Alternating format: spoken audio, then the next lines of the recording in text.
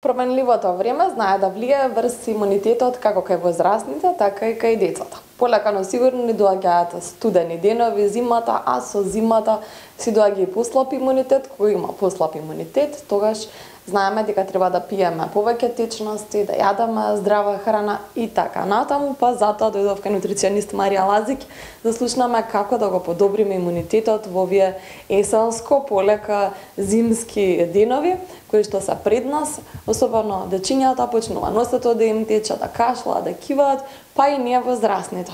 Да не си пренесеме вируси и бактерии, да се заштитиме превентивно како вистинска домакинка не причека со чајче. Ти благодарам за сезоната. Спремни. Марија, добро утро до тебе, нутриционист. Добро утро до вас, добро утро на сите гледачи. А, токму така ја и ја почнуваме есенската сезона. А, пред да почнеме со, со самата исхрана која што влијае против настинка и грип, она што е многу битно да, да, да го споменеме и да се задржиме, а тоа е на самите а, сезонски продукти. Значи, а, секогаш а, треба да се одбираат продукти а, кои што се за та, кои што одговараат на таа сезона, бидејќи самите сезонски продукти во сезоната имаат најмногу хранливи а, материи во однос на другите а, периоди. А, многу научни истражувања има докажано дека а, спанаќот. Спанаќот летно време има многу повеќе С витамин во однос на а, зимскиот период. А, пастеризираното млеко, а, особено за децата, а, летно време има многу повеќе бета-каротен, а зимно време има многу повеќе а, јод, затоа што кравите зимно време ги хранат со конзервирана храна богата со сол, а летно време со а, свежи растенија.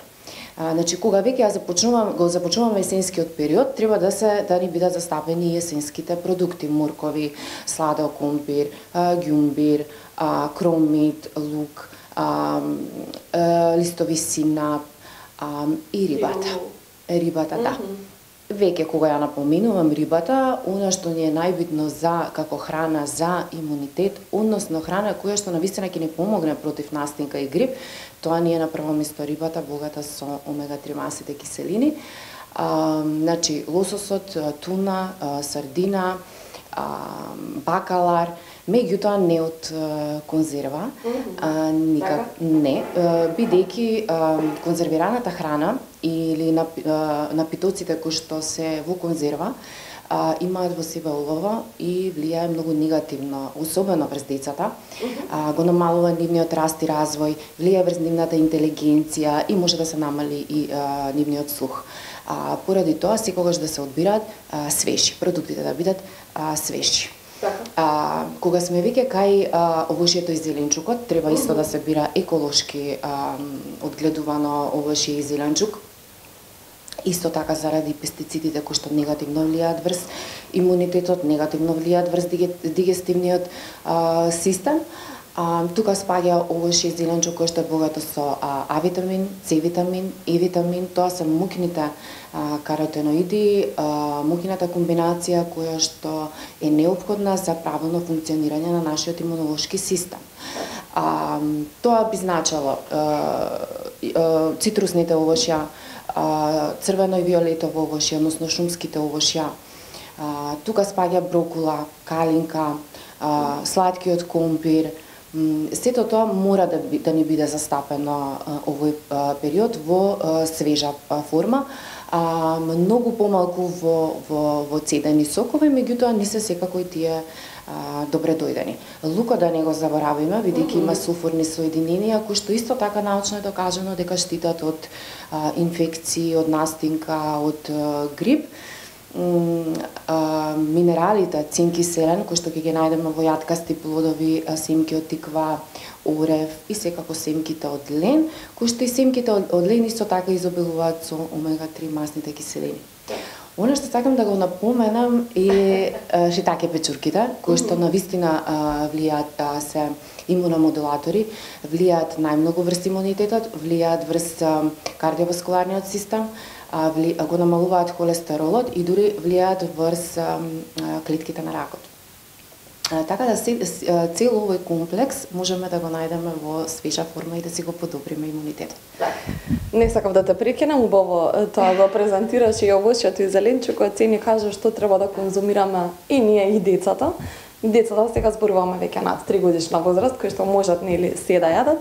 Сакав да те прашам околу напитоците, бидејќи нели почнавме го почнавме ова интервју со чај, но и секогаш кога доаѓам на интервјуа кај тебе имаш напиток.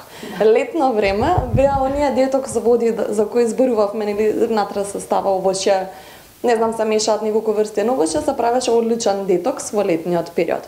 Што е со зимскиот период, маца? Дали постои, не знам, освен чајот, кој што нели може и сами да го подготвиме и го има со филтер кисички, којто е напиток кој може да го направиме за да не одржува и во текот на зимата да ни го подобри имунитетот. Дали е тоа цеден лимон, не знам, може би цеден портокал со лимон. Има ли некои такви комбинации да, со секогаш, витамин? Секогаш моќната комбинација на антиоксиданси, значи може да биде лимон, портокал, а, ѓумбир, а, цимет, сето тоа може да не да ни го подобри имунитетот и да ни направи една да не доведе во една загревачка форма, бидејќи на телото му требаат продукти кои што загреваат.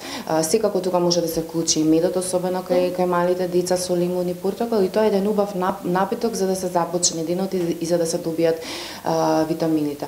Чаевите се неизоставен дел, јас обожувам чаеви, ги пијам и во текот на летниот период, ги пијам и во текот на на зимниот период, со тоа што може да се уклучи мајчина душичка, камилица, нане, кои што исто се благопријатни врз дигестивниот систем, врз стомакот и да не го забравиме босилокот, кој што навистина а, треба многу да се користи во свежа форма ливчење од бусилек, сув бусилек, а, зачини, а, како зачини да се употребува и во салати, бидејќи навистина е многу, многу а, а, и хранлив, има многу здравствени придобивки од него. Така, ајде благодарам за сите совети и за нас. Слушнав и јас научив нешто ново како да го подобрам имунитетот и нашите гледачи на утринската Здраво Македонија останува да ги примениме твоите совети и зимата да ја поминаме мирно. Ти благодарам. Благодарам и јас на вас.